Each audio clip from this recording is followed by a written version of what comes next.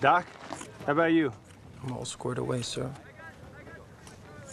Doc, look, we're all aware how much the men look up to you. Like to know what you're thinking. I don't think so, sir. Doc, this is your chance to get a little something off your chest.